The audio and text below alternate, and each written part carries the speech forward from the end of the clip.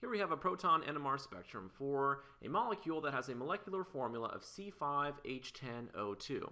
And let's start by calculating the hydrogen deficiency index. So if we have five carbons, we can have a maximum of 2 times 5 plus 2 hydrogens. And so that's equal to 12. So 12 hydrogens is the maximum number for 5 carbons. Here we have only 10 hydrogens. And so we're missing two hydrogens. We're missing one pair of hydrogens. So therefore, we can say the HDI is equal to 1. And when the HDI is equal to 1, I immediately think a double bond is present in this molecule or a ring is present in this molecule. Next, you go to the integration values. So for this signal, an integration value of 33.2. For this one, 48.4. For this one, 33.3. And then 48.7. And you divide all four integration values by the lowest one. So the lowest one would be 33.2. So 33.2 divided by 33.2 is obviously equal to 1. 48.4 divided by 33.2 is approximately 1.5. 33.3 divided by 33.2 is obviously very close to 1. And then finally, 48.7 divided by 33.2 gives us approximately 1.5. And these numbers tell us the relative, the relative ratio of protons that are giving us these four signals. But we need to think about 10 protons, right? So we have 10 hydrogens here. And so this is only relative. To get the to get the absolute number of hydrogens, we need to multiply these numbers in this rate in this ratio by 2. If we multiply 1 by 2, we obviously get 2. So this signal represents 2 protons.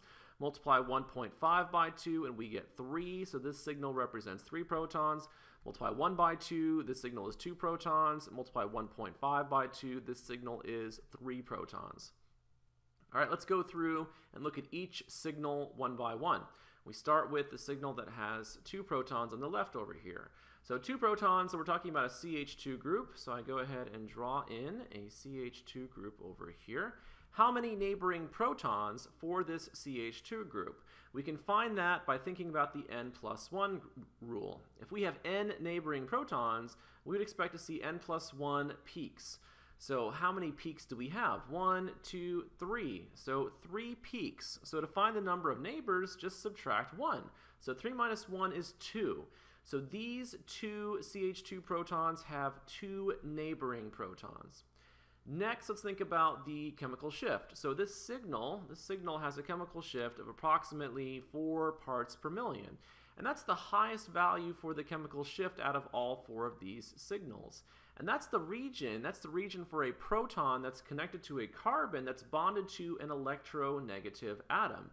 And if we look at our molecular formula, right, we have two oxygens here. So I'm going to take one of those oxygens and put that oxygen, put that oxygen on that carbon because once again, when you're thinking about the signal for a proton on a carbon that's bonded to an electronegative atom, you get a chemical shift uh, somewhere, in this case, close to 4 parts per million because the oxygen is de-shielding those protons, right? The oxygen is withdrawing electron density. All right, so that's one piece of the puzzle. And let's move on to our next signal. So this will be the next piece of the puzzle. We have three protons, so that's a methyl group. So let me go ahead and draw in a methyl group here, so CH3. How many neighboring protons for those methyl protons? Well, we see, we see one peak here. So 1 minus 1 is 0, so 0 neighboring protons. Let's think about the chemical shift, right? So the chemical shift is just past 2 parts per million. And that's in the region for a proton that's next to a carbonyl. All right, so let's go ahead and draw in a carbonyl here, and we're assuming that the carbonyl carbon is bonded to another carbon over here. That makes sense in terms of numbers of neighbors, right? So let's use blue for, for this, right? So the signal for these three protons, right, zero neighbors. And so if we go to this carbon, right, if there's a carbon over here, there are no protons on this carbonyl carbon, and so that explains, that explains this piece of the puzzle. Next, uh, next signal, a CH2, right? So we draw in a CH2 here. How many neighbors? A little bit hard to see. One, two, three, four, five, six peaks. 6 minus 1 is 5, so we would expect 5 neighbors using using the oversimplified n plus 1 rule, and we'll come back to uh, we'll come back to that CH2. And finally, we have a signal with 3 protons, so a CH3. How many neighbors for these methyl protons? Well, we have one, two, three peaks, so 3 minus 1 is 2. So 2 neighbors. All right, let's put all of the pieces of the puzzle together and let's draw the final dot structure. So let's uh, let's start let's start with uh, with this piece of the puzzle right here. So we have a carbonyl, so I'm going to draw in my carbonyl here, and then we have a methyl group bonded to that carbonyl. So I'm going to draw in our methyl group like that, and uh, we used blue for these methyl protons. So the signal for these methyl protons appears right here. Next, let's think about a possible functional group, right? Well, we have a carbonyl, and then over here, right, we have an oxygen. So if we put the oxygen next to the carbonyl, that gives us an ester. So let's go ahead and do that. Let's put the oxygen next to the carbonyl, and then bonded to that oxygen, we had a CH2. So I draw on my CH2 there, and let's identify those protons. So the protons in magenta are giving us this signal over here. All right, next, let's think about, let's think about, um, let's use red, and let's think about these protons, these methyl protons right here. Those methyl protons have two neighbors, and it makes sense that they would be these two neighbors right here, right? So these chemical shifts are under two, so those are, those are relatively far away from the oxygens. So let's draw in the methyl protons next. So we have our methyl protons right here and let's make them red. So let's highlight those. So these methyl protons right here are giving us this signal. And then finally, we have we have a CH2 left right here. So we draw in our CH2 and let's make these green. Right? So these two protons right here in green are giving us this signal.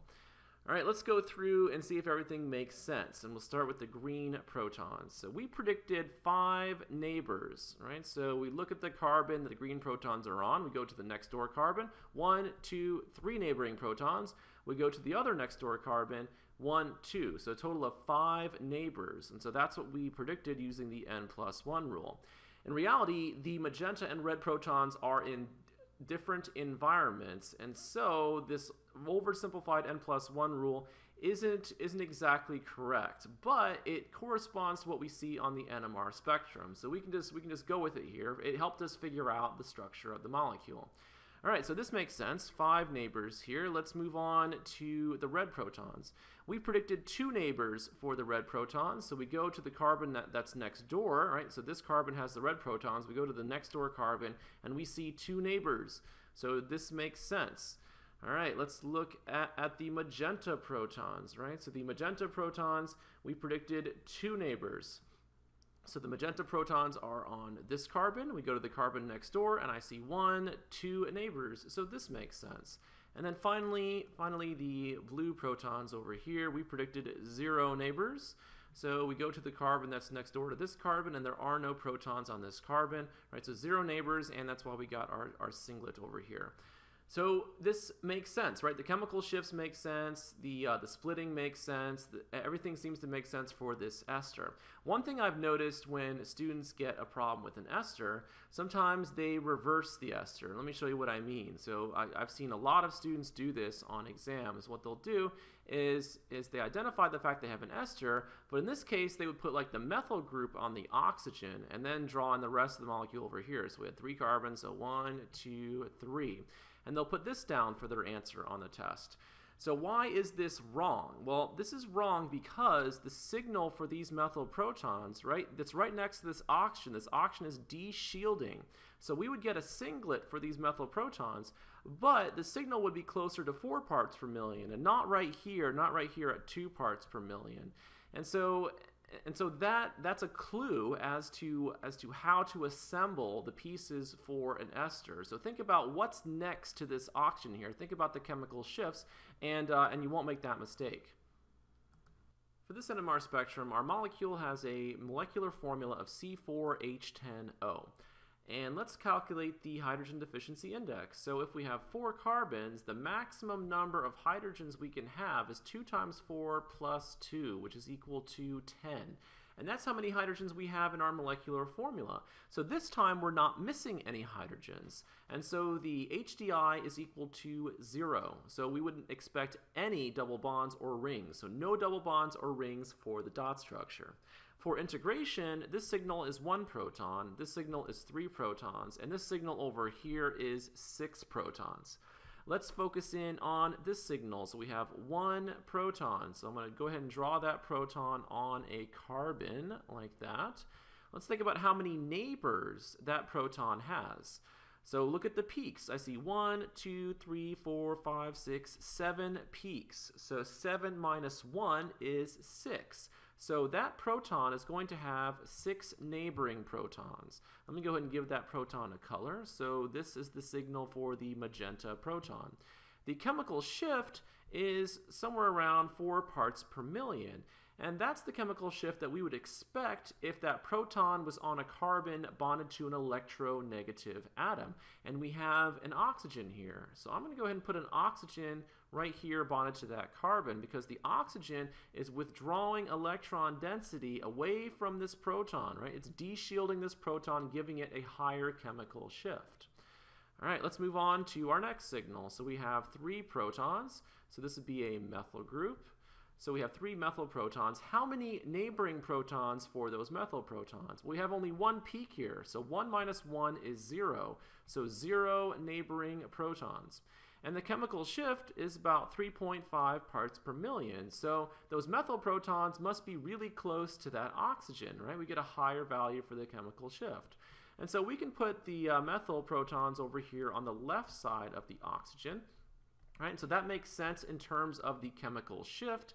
Right, it also makes sense in terms of the number of neighbors. So these three protons right here give us this signal, and we have zero neighbors. Right, so there are no neighbors for these three protons. Let's move on to the last signal. Right, so we have six protons, so that's like two methyl groups. So we have two methyl groups here, and the signal is split into a doublet, right? So we see these two peaks here. So 2 minus 1 is 1. So we expect one neighbor for these two methyl groups. And obviously, uh, obviously it would have to be this proton in magenta because we have these only these two places left, right? So we put these methyl groups right here and we can see we get one neighbor. So those, those two methyl groups are further away from the oxygen relatively because of this signal, right, having a lower value for the chemical shift. So let's use red here. So red for these six protons. It's giving us this signal. And we have one neighboring proton. It's this proton in magenta right here. Let's think about the magenta proton, right? We said that the magenta proton would have six neighbors, and that's what we see. So three from this methyl and then three from this methyl. So six neighbors for the magenta proton. And then finally, we said there'd be zero neighbors for, for the protons in blue. And that's what we see for our dot structure. And so this, this molecule is an ether. So this NMR spectrum represents this ether.